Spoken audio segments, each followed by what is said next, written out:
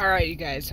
I did not have enough storage space on my phone to make a whole video this time, but I promise I'll clear some stuff off for the next time because you would have been laughing with me at how ridiculous my lower left side is. So, I still didn't get to get the last filling done because they cannot numb my left side. And he put the max dosage in at the beginning.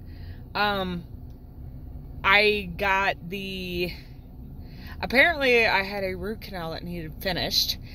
I did not know that. So I got that done, and there is a temporary crown on it right here. Oh, I can't see. Hey. Yeah. Not this one.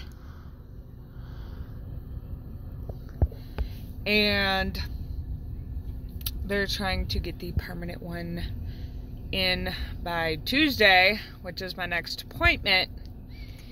But, like, I just sat there and dealt with the aching, throbbing pain that I kept feeling. I absolutely despise my lower left side.